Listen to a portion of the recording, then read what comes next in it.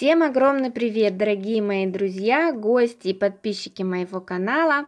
Меня зовут Люба, и вы на канале о вязании. И в этом видео я хочу вам показать и рассказать о таком приборе, как Тенериф.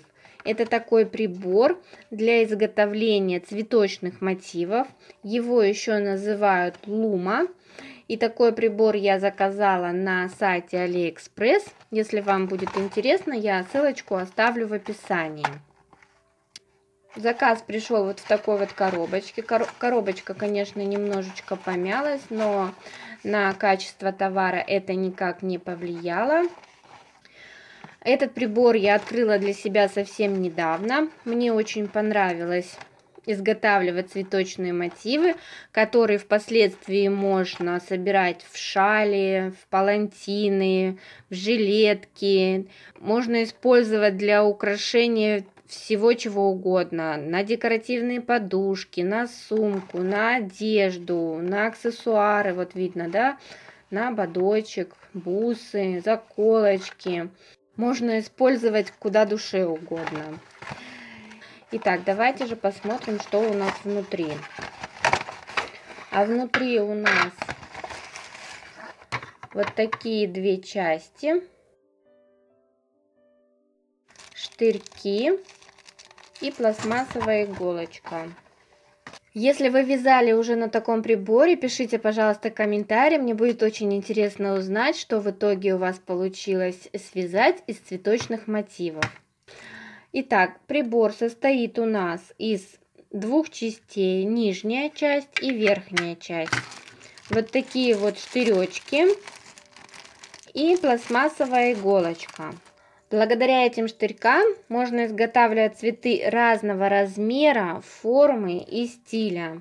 Итак, что у нас представляет собой верхний круг? Верхний круг, на котором имеются вот такие вот отверстия и 4 круга разного диаметра. Каждый круг обозначен своей буквой. Буква А – это у нас самый маленький круг.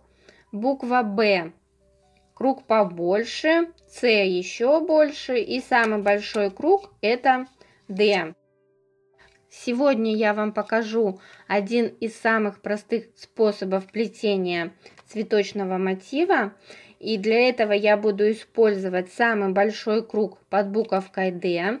Поэтому сейчас я по кругу выставляю штырьки.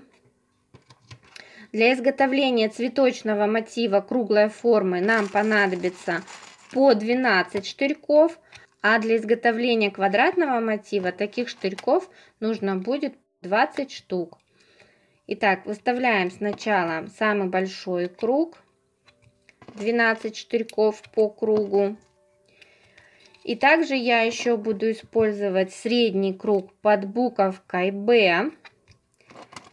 И также выставляю по кругу 12 штырьков.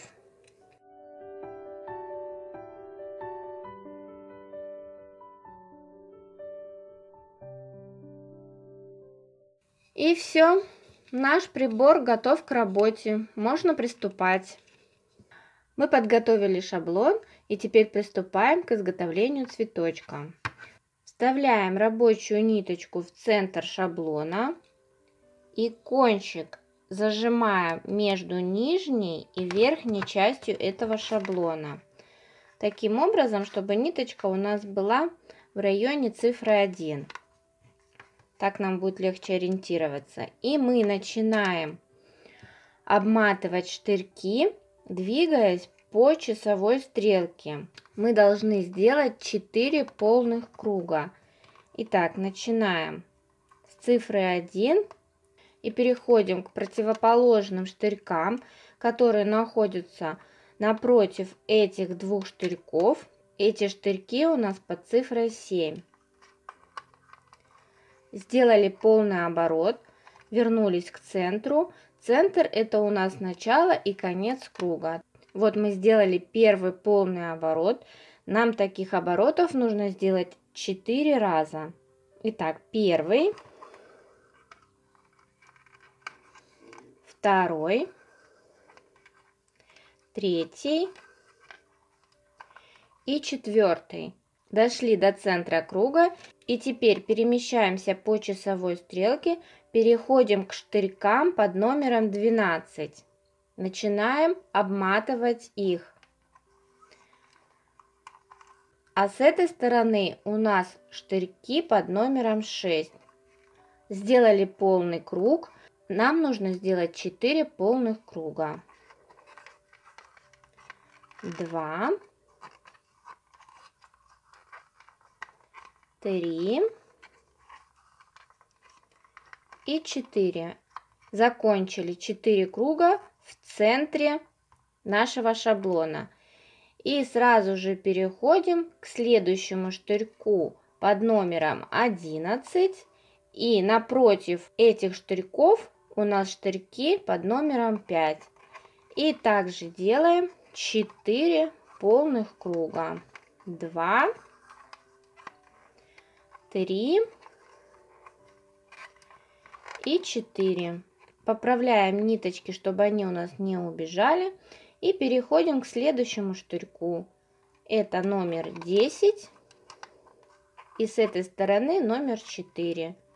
И делаем полный круг. Раз, два, три и четыре. Если вдруг у вас убежала ниточка, и вы не знаете, сколько раз вы обмотали, вы можете посчитать вот здесь вот количество ниточек, которые намотано. Раз, два, три, четыре. Четыре ниточки должно быть намотано с одной стороны, и четыре ниточки должно быть намотано с другой стороны. То есть на каждом штыречке должно быть по 4 ниточки. Итак, мы сделали 4 полных оборота и продолжаем так до тех пор, пока не обмотаем все штыречки.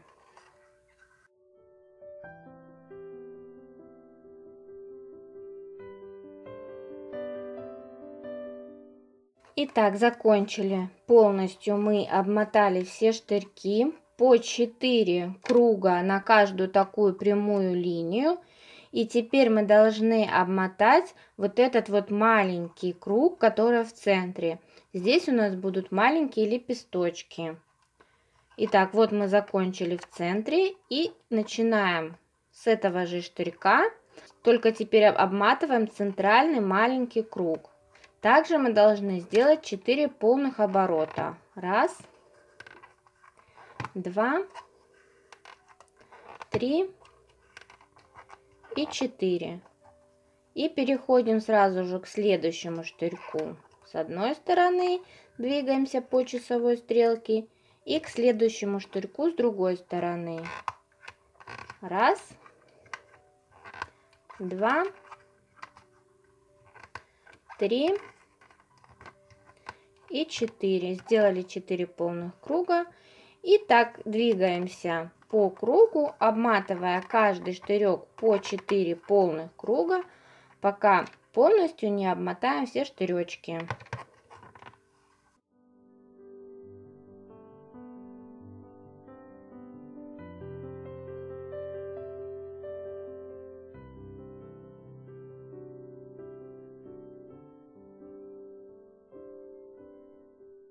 Итак, мы закончили обматывать центральный круг. И теперь нам нужно отрезать ниточку так, чтобы нам хватило обвязать центральный круг. И эту ниточку мы должны вставить в иголочку. При этом здесь мы ниточку держим, не отпускаем, чтобы у нас не распустились лепесточки. Вставляем ниточку в иголку. И мы закончили вот в центре. У нас конец ряда. И теперь мы должны зафиксировать ниточку, чтобы она не убежала. Раздвигаем вот так вот иголочкой все ниточки. Находим самую серединку, чтобы у нас был между ниточками просвет, то есть это самая серединка. И иголочкой вот так вот уплотняем к центру и вытягиваем на изнаночную сторону. Вытянули. Итак, сейчас мы вытянули иголочку вот в этом месте. Теперь с изнаночной стороны мы должны иголочку вытянуть у следующего штырька. Поправляем все ниточки, чтобы нам найти самый центр. И с изнаночной стороны выводим иголочку, при этом ее вот так вот еще уплотняем сюда к серединке. Вытянули. И теперь опять возвращаемся к нашему первому штыречку, куда мы в самый первый раз вкалывали иголку. И сюда же прошиваем еще раз. И далее мы делаем следующим образом. Один штырек мы пропускаем. С изнаночной стороны мы вытаскиваем иголочку через один штырек. Также не забываем иголочкой уплотнять сюда ближе к центру. А с лицевой стороны мы вкалываем иголочку в этот штырек, который пропустили.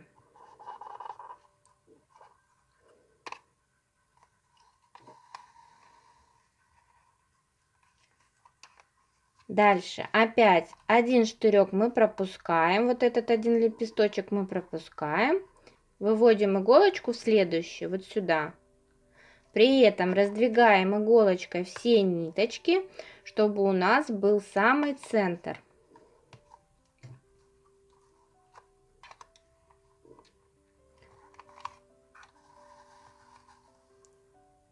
А с лицевой стороны вводим в этот штырек которые мы пропустили.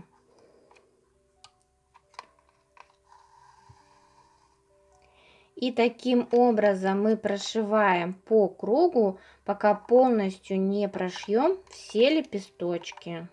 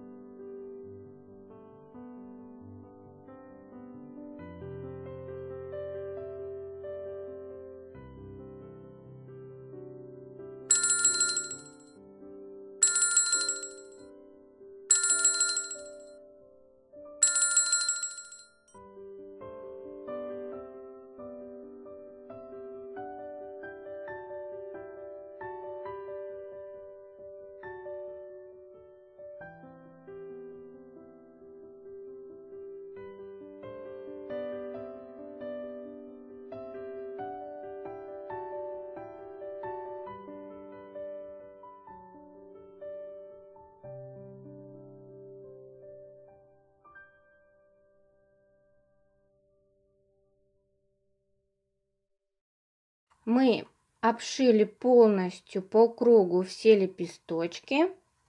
И можно еще раз для надежности закрепить поверх того ряда. Сделать еще пару стежков.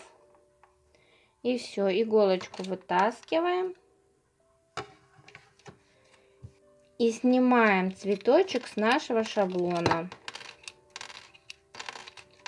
снимаем штырьки.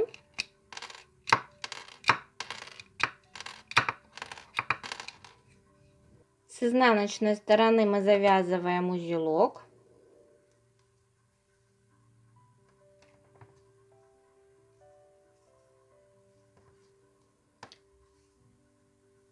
Ниточку еще вот так вот вытягиваю. И лишнее отрезаю. И в итоге у нас получается вот такой вот красивый цветочек. Точно так же делаем другие цветочки и будем их собирать в шаль. И в одном из следующих видео я покажу, как соединяются цветочные мотивы между собой. И эти мотивы мы будем соединять в шаль. Поэтому, если вам понравилось видео, ставьте, пожалуйста, лайки, подписывайтесь на канал и не забывайте нажимать на колокольчик, чтобы не пропустить следующее видео. Вяжите с удовольствием, всем удачи и до новых встреч!